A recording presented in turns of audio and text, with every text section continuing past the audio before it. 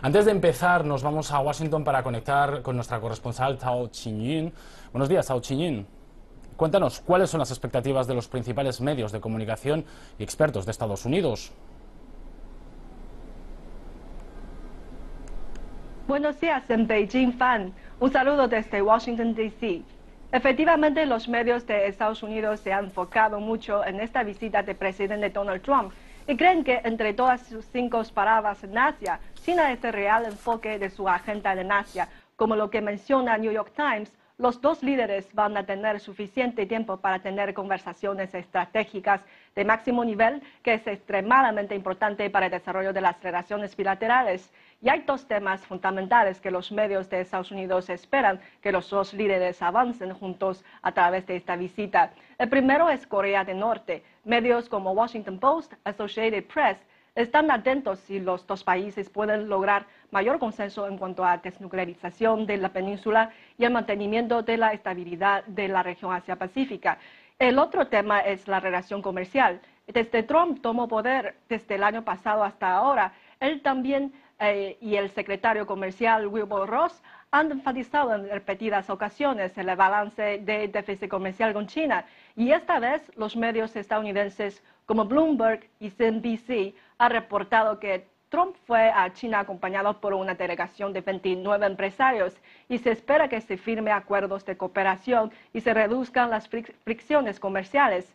Bloomberg mencionó que todavía se desconocen los detalles de los 19 acuerdos firmados con un valor de 9 mil millones de dólares en Beijing durante el primer día en presencia del secretario de Comercio Wilbur Ross y el vicepremier Wang Yang pero se puede observar que los principales acuerdos están centrados en los sectores energéticos e industriales. Y las empresas por parte de Estados Unidos como Honeywell International, General Electric son empresas que ya están por muchos años en el mercado chino. Y se espera que China pueda aumentar más importaciones de líquido de gas natural y productos agrícolas, ya que empresas petroleras de estados de Texas y Alaska así como la Asociación Nacional de Soyas también están incluidas en la delegación. Y, también otros temas como la apertura de acceso a sectores de servicio, especialmente el sector financiero, la protección de propiedad intelectual, los reglamentos sobre la transferencia de tecnología para empresas extranjeras en China.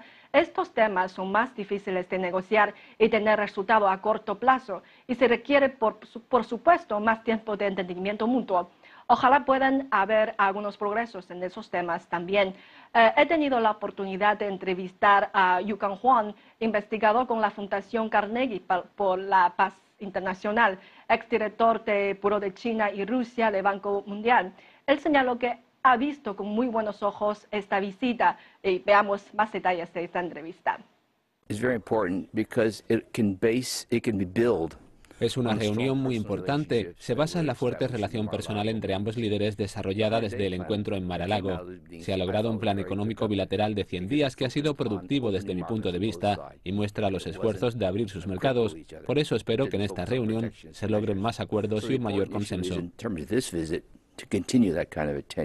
Juan Yuchuan señala también que el decimonoveno Congreso Nacional del Partido Comunista de China ha hecho hincapié en que China continuará la reforma y la apertura al exterior, facilitará más la inversión y el comercio y permitirá más acceso al mercado chino, lo que abrirá más posibilidades de cooperación económica bilateral.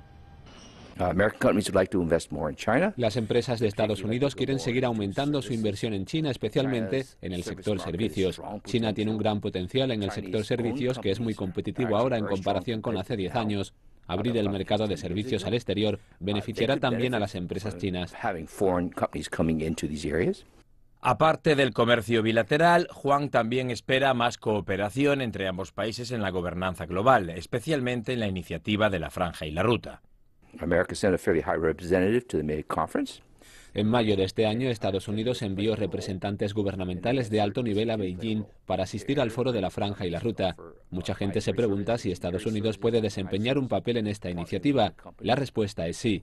Los Estados Unidos pueden proporcionar servicios de consultoría, de ingeniería, servicios de diseño y operaciones conjuntas con empresas de otros países. Estados Unidos y China comparten muchos intereses comunes en las áreas que cubre la franja y la ruta, especialmente en la mejora del comercio y el aumento de la conectividad en Asia y Europa.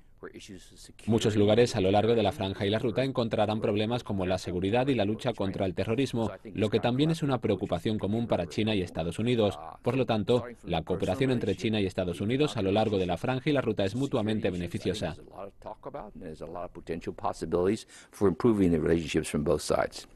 Al ser dos economías altamente complementarias, la cooperación entre China y Estados Unidos traerá enormes beneficios a ambas naciones.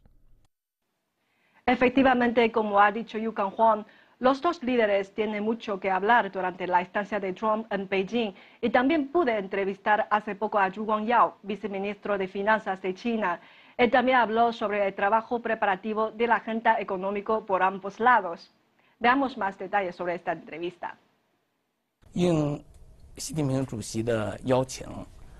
A invitación del presidente chino Xi Jinping, el presidente de los Estados Unidos, Donald Trump, realizará una visita de Estado a China. Será una visita histórica. También señalará la dirección para el desarrollo de las relaciones chino-estadounidenses en las próximas décadas y establecerá mecanismos y planes de trabajo. Por lo tanto, tanto China como los Estados Unidos se preparan seriamente para la importante reunión de Beijing.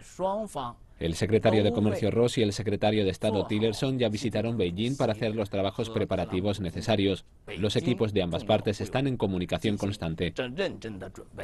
Chu también señaló que en mayo de este año China y Estados Unidos lograron acuerdos de cooperación económica en comercio agrícola, servicios financieros, inversión y energías.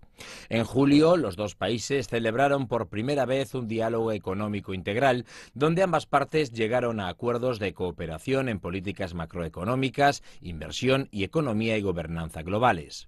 Ambos lados han demostrado respeto mutuo y han fortalecido la confianza política. Creo que el encuentro tendrá perspectivas muy positivas en el desarrollo continuo y saludable de las relaciones económicas sino-estadounidenses. El mundo ha puesto su atención en esta reunión. China y los Estados Unidos comparten intereses comunes en cooperación. Se puede percibir desde las palabras de Zhu Guangyao que ambas partes están listas a cooperar juntos a reducir el imbalance comercial y evitar una guerra comercial. En conclusión, ambas partes esperan que el encuentro tenga resultados positivos y logre mayores consensos y convergencias de intereses comunes, así como dialogar sobre las diferencias. Regreso contigo, Fan.